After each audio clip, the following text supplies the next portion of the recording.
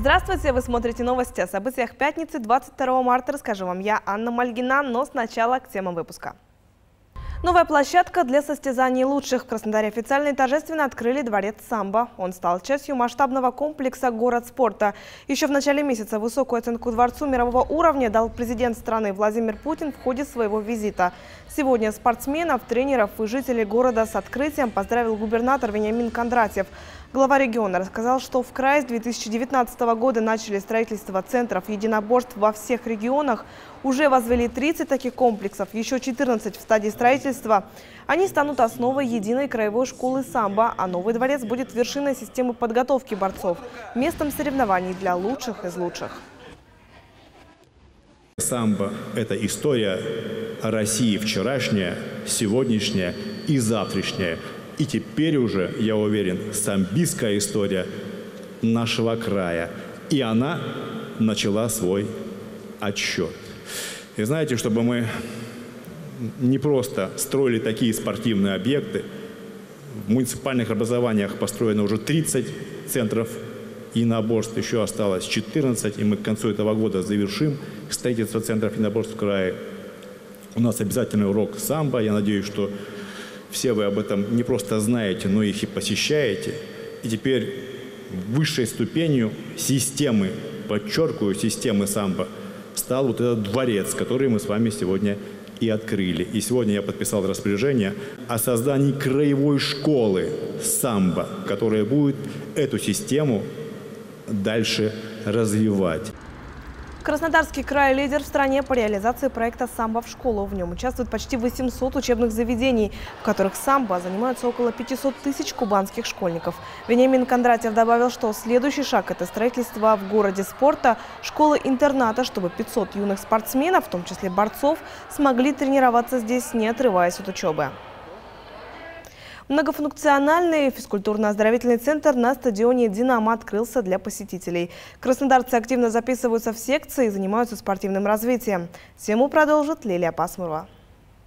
Алексей Харитонов занимается на стадионе «Динамо» с открытия. Каждое утро пятницы он проводит на футбольном поле. Говорит, что такие тренировки дают заряд энергии на весь день и позволяют поддерживать хорошую физическую форму. Нравится здесь э, то, что Стадион новый, э, недавно реконструкция была, открытие. Вот и после открытия э, записались, э, нетрудно записаться, приходим, в свободное время играем, занимаемся спортом. Теннисные корты, поля для мини-футбола и просторные залы для борьбы. Все это доступно для краснодарцев на стадионе «Динамо». Для того, чтобы посещать секции, нужно быть совершеннолетним или иметь разрешение от родителей. Записаться можно, предоставив паспорт и медицинскую справку. На сегодняшний день, с момента открытия, он уже, можно сказать, живет полноценной спортивной жизнью. Порядка 22 э, десятков секций. Записаться люди могут на стойке информации у девушек-администраторов. Э, там вся есть подробная информация о секциях, э, как платных, так и бесплатных. Также есть вся информация для жителей, которые хотят просто прийти побегать, либо позаниматься йогой, растяжкой, общей физической подготовкой. Также есть возможность у людей заниматься бесплатно футболом, баскетболом. Сегодня на стадионе «Динамо» занимаются сотни человек. Причем большинство из них – горожане, которые выбирают спорт и здоровый образ жизни, отмечает Ирина Аксенова, исполняющая обязанности начальника отдела спортивно-оздоровительной работы. У нас три основных направления. Это мини-футбол, стритбол и общая физическая подготовка. Все желающие, кто хочет заниматься для своего здоровья, для здорового образа жизни. Во-первых, это продлевает жизнь. Любая физическая активность – это здоровье, это хорошее настроение, это свежий вид всегда. Общая площадь стадиона около 15 тысяч квадратных метров, поэтому на территории точно будет та секция, которая подойдет именно вам. Лилия Пасмурова, Александр Шереметьев, телерадиокомпания «Краснодар». К другим темам активисты волонтерской группы «Творим добро-23» собрали и отправили полторы тысячи квадратных метров гуманитарной помощи. Это маскировочные сети, окопные свечи, газовые баллончики, нижнее белье. Помощь бойцам СВО активно оказывают неравнодушные жители России с самого начала спецоперации. За два года в Краснодаре, как и по всей стране, появились волонтерские организации, которые отвозят адресную помощь военным по их запросу. Спасибо нашим людям неравнодушным, что помогают в это тяжелое для нашей страны время, оказывают помощь посильную. Вместе мы все идем к победе. Вот сегодня делаем дозагрузку от избирателей и членов избирательной комиссии 2109. Спасибо, неравнодушные граждане. Ваша помощь очень нужна бойцам. Эту гуманитарную помощь бойцы специальной военной операции получат в ближайшее время. Машина отправится на передовую уже этой ночью. В Краснодарском крае стартует всероссийская благотворительная акция «Красная гвоздика». Все желающие могут с 10 апреля по 22 июня купить значок с цветком, который уже стал символом памяти. Они будут доступны в сетевых магазинах и на интернет-ресурсах. Фиксированной цены нет, можно перечислить любую сумму пожертвования. Вырученные деньги направят на оказание адресной помощи ветеранам Великой Отечественной войны и иных боевых действий. Прежде всего окажут медицинскую помощь, в том числе приобретут кресла-коляски, слуховые аппараты, протезы. Акцию проводит благотворительный фонд «Память поколений» уже восьмой год. На Кубани помощь от этой организации получили более шести сотен ветеранов на общую сумму в 43 миллиона рублей. На выборах президента России в Краснодарском крае было задействовано свыше 5000 наблюдателей. Все они работали на избирательных участках в регионе, чтобы следить за прозрачностью хода голосования. Члены Общественной палаты Краснодарского края отмечают, что наблюдатели справились со своей задачей и за три дня выборов проявили свой профессионализм, что также повлияло на высокий уровень явки на избирательные участки. Добрый день на повестке дня следующие вопросы. Мы высоко оцениваем работу нашего корпуса наблюдателей на выборах президента. Мы видели их э, грамотную, а порой самоотверженную работу на избирательных участках. И благодаря их работе, благодаря их грамотным, спланированным, э, обоснованным законам, действиям, а удалось пресечь много нарушений и каких-то неприятных ситуаций, мягко скажем, то нарушение закона, которые могли бы произойти на избирательных участках. А с каждым годом ответственность, уровень подготовки, профессионализм корпуса общественных наблюдателей растет. У нас край большой, и мы прекрасно понимаем, что есть это северо-запад, это Азовское море, это приграничная зона, потому что с одной стороны там Азовское море, Азовское море наша территория, но тем не менее там территории, которые находятся в зоне СВО, это накладывает особый отпечаток. Там расположены и размещены семьи с украинских городов в санаториях. Поэтому, естественно, особое внимание данному участку. Но, тем не менее, это не помешало нам продемонстрировать одну из самых высоких явок. Один из тех, кто впервые был в составе мониторинговой группы на выборах, студент-политолог из КубГУ Владимир Селезнев. Убедиться в легитимности выборов он всегда хотел самостоятельно, поэтому и решил стать волонтером в ЦОН. Первый опыт работы в ЦОН был очень показателен. Показателен тем, что Наши выборы, выборы в нашей стране организовываются открыто. И это очень важно для меня, как для активного гражданина. Это был очень хороший опыт для меня, как для политолога. А также показала открытость, как я уже говорил ранее, на всех участках избирать, э, избирательных участков нашего края. Это очень важно для нас. В дальнейшем программу подготовки наблюдателей на выборах будут расширять, учитывая особенности работы в Краснодарском крае, отмечают эксперты. Сотрудники госавтоинспекции провели рейд в кубанской столице. В этот раз проверяли на улицах города автомобили на наличие в них детских кресел.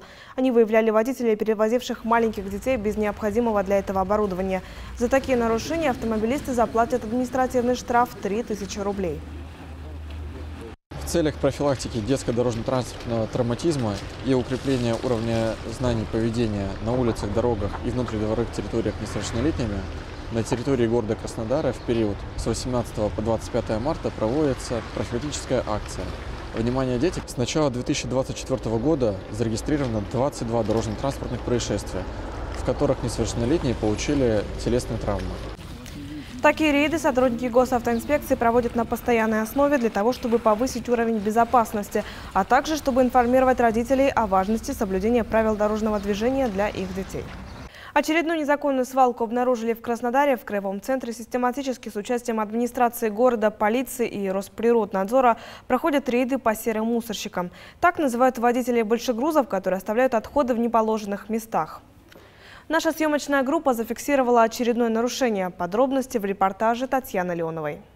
Здесь, в промышленной зоне, в районе аэропорта, на земельном участке находится куча строительного мусора. Здесь и стеклянные бутылки, и пакеты, и пластик.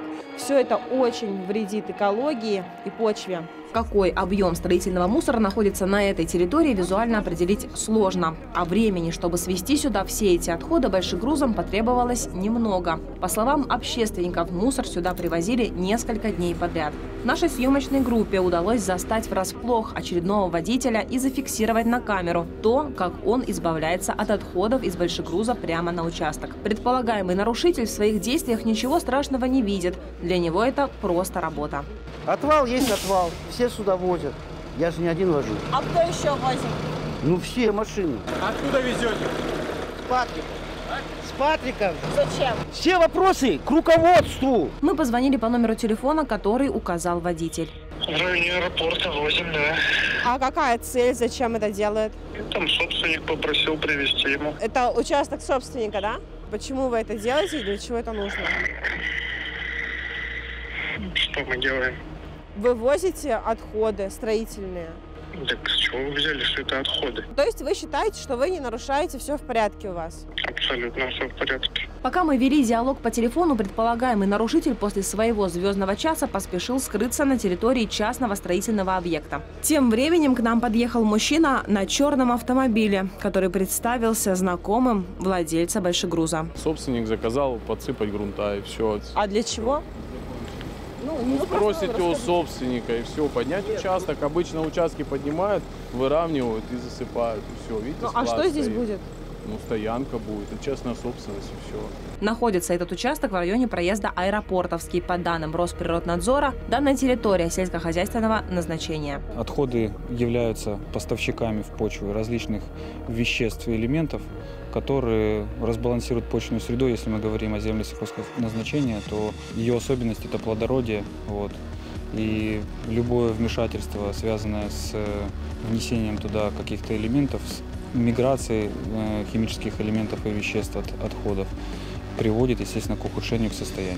С предполагаемым нарушителем все-таки удалось пообщаться. Это сделали сотрудники полиции. За осуществление предпринимательской деятельности без лицензии юридическому лицу может грозить наложение штрафа в размере от 40 до 50 тысяч рублей. А за несоблюдение требований в области охраны окружающей среды при обращении с отходами производства и потребления, совершенный с использованием грузовиков, штраф от 100 до 120 тысяч рублей.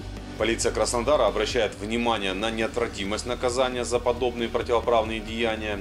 Ежедневно наружными нарядами инициативно проверяются грузовые транспортные средства на возможное наличие в них строительных и иных видов отходов.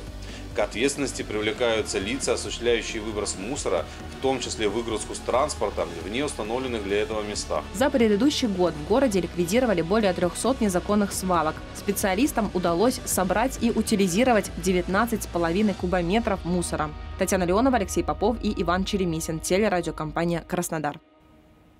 Дольщики ЖК на магистральной в Краснодаре в ближайшее время получат ключи от своих квартир. В краевой столице остаются всего 9 проблемных домов. Вообще на Кубани за последние 9 лет восстановили права 66 тысяч обманутых дольщиков, и эта работа продолжается. Сегодня заместитель министра строительства и жилищно-коммунального хозяйства России Никита Стасишин и вице-губернатор Кубани Сергей Власов осмотрели долгострой в Комсомольском микрорайоне, а также в ЖК Знаменском, как хороший пример комплексной застройки. Алина Сорокина готова рассказать подробнее. ЖК на магистральной один из самых известных долгостроев Краснодара. Это понятно, 25 этажей, более 600 квартир. Работы здесь остановились в конце 2020 года. В апреле 2021-го дольщики жилого комплекса обратились к губернатору Вениамину Кондратьеву с просьбой помочь в достройке дома. Федеральный фонд развития территорий принял решение продолжить возведение объекта. После получения положительного заключения повторной госэкспертизы к работам приступили в декабре 2022 Когда, сколько времени передачи ключей? Значит, мы планируем начать э, после 15 апреля передачу. 15 апреля. Мы сейчас получим передаем управляющей компании, ставим на кадастровый учет, и людям уже весь, весь пакет, ну, в течение недели, я думаю, можем, Неделя. можем начать раньше начнем. Плюс сверка списков э, с Ну, федеральным это фондом. параллельно. Это параллельно. а Начинайте, недели. но надо, надо чего? Надо начинать. Сейчас почти все готово. Обустроили территорию возле дома. Детская площадка может принимать малышей. новое, сделанное уже нами. Ну и, собственно говоря, мы в прошлые выходные здесь были, здесь уже дети активно пользуются, включая и спортплощадкой. Это яркий пример комплексной застройки. Проект разработан так, чтобы жители лишний раз не выезжали с района. Здесь есть школа, детский сад, будет и поликлиника, а также большая прогулочная зона. Застройщик совместно со взведением первых домов почти сразу стал возводить и социальные инфраструктурные объекты, парк, школу и первый из трех детских садов. Для а что с общественным транспортом? Общественного транспорта, маршрутов очень много, остановки То есть у нас есть? на- Конечно. Мы прям в комплексе Конечно. сделали, завязали маршруты, Молодцы. разворот, кру- кру- круговое движение, все здесь. На сегодняшний день, Никита, Анастасия Владимировна сказала, мы первый садик открыли еще до ввода домов, и на сегодняшний день уже второй садик тоже сдан, запущен, и школа на 1550, вот мы ее можем Вижу, видеть вижу, уже да. вживую, она уже тоже с 1 сентября приняла первых учеников. Еще буквально пять лет назад в Краснодаре почти отсутствовали проекты комплексной застройки. В основном была точечная, где новые жилые комплексы присоединялись к уже к действующей инфраструктуре. Покупатель другой стал, уже не инвестор, а все-таки Ну, конечно. настоящий покупатель. Тем более они же здесь покупают уже весь комплекс, правильные садики, жить, школы, конечно. Парки. Проблема обманутых дольщиков активно решается на Кубани и в Краснодаре. Сейчас в стадии завершения строительства. 3 литра ЖК «Жемчужина» и 3 литра комплекса «Радуга». До конца года в свои квартиры въедут дольщики ЖК «Луч», «Заря», «Анит-Сити». Как неоднократно говорил губернатор Кубани, важно не только помочь сдать существующие объекты, но и не допустить появления новых обманутых дольщиков. Вениамин Кондратьев поручил муниципалитетам на всех этапах контролировать строительство домов с привлечением средств граждан. Алина Сорокина, Алексей Товстенко, Александр Сеньков, телерадиокомпания «Краснодар». Прививки от кори в России делают уже больше 60 лет. Это один из самых проверенных и безопасных способов защитить ребенка от инфекции. Они предотвращают до 3 миллионов смертей во всем мире ежегодно. Как работают вакцины и как иммунная система распознает опасные вирусы, на примере недавней вспышки кори расскажет Лилия Пасмурова. От кори не защищен никто, ни дети, ни взрослые. У невакцинированных людей болезнь может вызывать осложнения вплоть до летального исхода. Поэтому медики советуют не рисковать своей жизнью и делать прививку. К примеру, только с начала этого года на Кубани зафиксировали 50 случаев заболевания корью. 31 из них дети и подростки до 17 лет. Болезнь передается воздушно-капельным путем, поэтому человек без иммунитета к вирусу станет его носителем в 100% случаев. Елена Копленко вакцинирует своего шестилетнего сына Мирона по календарю прививок. Мальчик уже защищен от ветрянки, менингита, а теперь еще и кори. Елена рассказывает, что после вакцинации иммунитет у ребенка стал крепче. Поэтому прививкам, как и рекомендациям врача, она доверяет. Корь – это серьезное заболевание, и я считаю, что надо прививать ребенка от таких ну, тяжелых болезней. Лично я за прививки и своим детям буду делать, меньше болеет. Переносит довольно-таки легко, без температуры, сам иммунитет справляется. Кори уже больше двух тысяч лет. Она вызывает повышение температуры, сыпь, конъюнктивит и другие весьма неприятные симптомы. Избежать серьезных последствий поможет только вакцинация. Детей необходимо прививать в год и повторно в 6 лет, а взрослые после 18 могут сделать укол в любом возрасте. Вакцинация от кори – это единственный эффективный и безопасный способ профилактики этого инфекционного заболевания. Болеют чаще невакцинированные люди, как корью, так и другими инфекционными заболеваниями вакциноуправляемыми. Невакцинированные люди переносят это заболевание в более тяжелой форме, иногда с летальным исходом, нежели вакцинированные. Вакцинированные дети и взрослые люди тоже могут заболеть, но они перенесут это заболевание в легкой форме, без осложнений. На каждом из нас лежит ответственность за наше здоровье и безопасность окружающих. Поэтому врачи рекомендуют внимательно относиться к прививкам, не пренебрегать вакцинацией детей, ведь один укол может спасти вашу жизнь и облегчить течение болезни. Лилия Пасмурова, Александр Шереметьев, телерадиокомпания «Краснодар». Один из самых важных экзаменов в жизни сдают ученики в краевой столице. Сегодня ровно в 10 утра стартовал досрочный период сдачи ЕГЭ по географии и литературе. А тех, кто принял решение пройти проверку знаний досрочно и как готовились участники, расскажет Виктория Зеленская. Екатерина Пугаченко пришла в пункт сдачи единого государственного экзамена заранее. Позади все необходимые процедуры – проверка паспорта, температуры, обязательная дезинфекция рук и металлоискатель. Девушка признается, ее мечта – стать хоровым дирижером. От заветного желания ее отделяет совсем немного – удачно сдать литературу. А досрочный период она выбрала, чтобы ЕГЭ не совпал с экзаменами в колледже. Конечно, сложно запомнить такой большой материал произведений. Очень много их, каждый по-разному раскрывается сам по себе. свои тонкости, детали. Готовилась долго, конечно, из-за того, что большой материал. Сегодня участникам предстоит проверить свои знания в литературе и географии. Всего в краевой столице досрочную сдачу выбрали 6 человек. Это те, кто по уважительной причине не может сдать экзамен в основной период. Такое небольшое число людей объясняется тем, что с 2024 года выпускникам прошлых лет нельзя сдавать ЕГЭ досрочно, как это можно было делать все прошлые годы. Для них специально выделены сроки, резервные дни основного периода.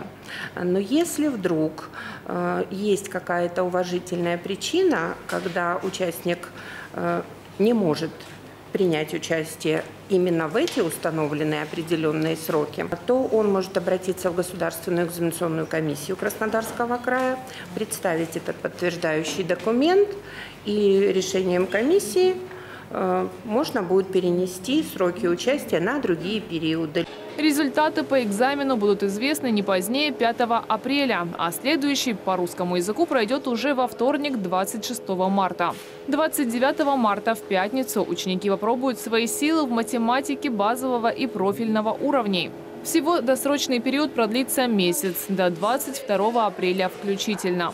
Виктория Зеленская, Алексей Попов, телерадиокомпания «Краснодар». К другим темам в эти выходные в Москве на ВДНХ проходят Дни Краснодара.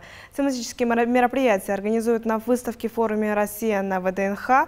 Там глава южной столицы презентует туристический бренд Краевого центра. Кубанская делегация расскажет москвичам и гостям города об инфраструктуре и инвестиционной привлекательности южной столицы, а также в целом о жизни на юге России.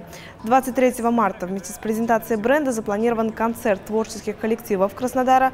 Также участники выставки присоединятся к мастер-классам по золотому шитью и филейно-гипюрной вышивке, а пройдя викторину, смогут выиграть поездку в Краснодар на двоих. Напомню, в декабре на ВДНХ проводили День Краснодарского края. Один из старейших и крупнейших на Северном Кавказе, Краснодарский краевой художественный музей имени Коваленко отпразднует в этом году свои 120 лет. В его стенах открылась выставка, посвященная юбилею. Экспозицию осмотрела Дарья Безинская. Она расскажет подробнее о его истории. Если бы Коваленко вел дневник, эта выставка названа не просто так. Она действительно отображает вехи становления галереи, а еще и деятельности Федора Акимовича. Мало кто знает, но он сам мечтал быть художником, общался с итальянскими и российскими мастерами. На выставке представлены даже редкие материалы из Краевого и Федерального архивов. В частности, это семейная хроника родителей Федора Коваленко, тетрадь с оценками будущего коллекционера и похвальный лист за учебу. Атмосферу конца 19 и начала 20 века куратор выставки Татьяна Сальникова решила поддержать с помощью выставки экспонатов из музея имени Филицина – Каждая картина таит за собой историю. Например, есть работы, которые для галереи Коваленко передала Общество художников имени Куинджи. Ряд полотен подарила Академия художеств. Лично свои произведения в экспозицию присылали Репин, Шишкин, Поленов и не только. А коллекция началась с этих работ. «Мадонна» от неизвестного художника и портрет от Рафаэля Санти. Самый ранний портрет э, – это работа вот, итальянского мастера Джузеппе Парини, э, самого Федора Акимовича Коваленко связывали дружеские отношения и деловые отношения. Здесь Федор Акимович Коваленко 21 год. Татьяна Сальникова работает в музее 26 лет. За это время прониклась деятельностью основателя художественного музея. Коваленко экономил и откладывал, чтобы покупать картины. Старался продвигать местных молодых мастеров кисти. И в музее есть выставка, посвященная коллекционеру. Она всегда работает в этом маленьком зале, напоминая о человеке, посвятившем свою жизнь искусству. Здесь же э, вот начинается экспозиция с портрета кисти Николая Васильевича Харитонова, портрет Федора Акимовича Коваленко, который был написан до, за три месяца до смерти основателя музея. И, конечно, интересны сами произведения, которые попали э, в, в наш фонд из личной коллекции. В этом году, уже 11 апреля, одному из старейших и крупнейших художественных музеев Северного Кавказа 120 лет. На самом деле же первая выставка прошла раньше, в 1890 году, но официальный отчет ведется от открытия галереи в здании городской управы. В 1907 же культурное учреждение переехало в свой постоянный дом на перекрестке улиц Красной и Советской. Изначально это здание было построено для Батырбека Шарданова, известного екатеринодарского деятеля 20 века. Он был мусульманином, поэтому и хотел подчеркнуть этот факт о себе в архитектуре своего дома. Ну а внутри этого архитектурного шедевра можно увидеть шедевры изобразительного искусства. Дарья Безинская, Дмитрий Кислицын, Юрий Клочинов, телерадиокомпания «Краснодар». Сказку с волшебством и превращениями окунулись зрители в Театре Защитника Отечества. Спектакль «Чудеса в тридесятом царстве» по пьесе Владимира Илюхова «Как в сторонке дальней» краснодарской публике представил режиссер-постановщик Вадим Романов. Впечатлением первых зрителей поделится Аделина Серенович.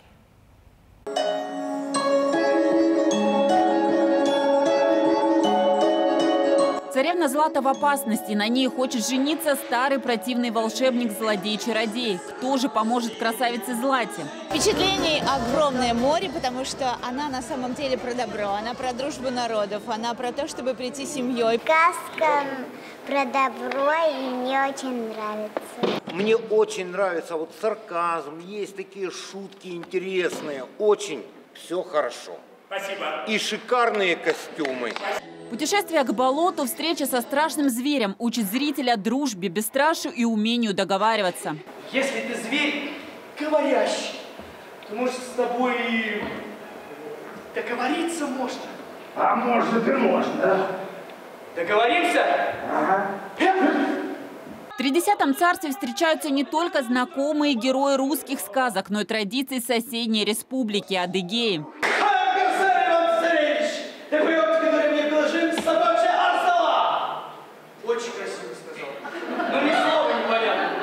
Они соседи. А, потому что, знаете, театр бывает на выездах. Ездить через мост близко. Не только по станицам, но можно же и, туда выезжать. Поэтому э, это, наверное, основополагающий мотив. Знаете, всегда трудно выбрать сказку. Их так много хороших сказок что, наверное, пришел, пришло время этой сказки. Наверное, просто случилось. Она постучалась так и сказала, пора меня ставить. Артисты на роли были выбраны по фотографиям и сыгранным спектаклям, и все прямо в цель. Месяц репетиций, примерка костюмов, генеральный прогон. И вот она, премьера. Окунуться в тридесятое царство можно уже в эти выходные. Аделина Серенович, Андрей Токмаков и Юрий Клочнов, телерадиокомпания «Краснодар». Ну а наше время подошло к концу. Следите за новостями в наших социальных сетях и на официальном сайте. До встречи в эфире.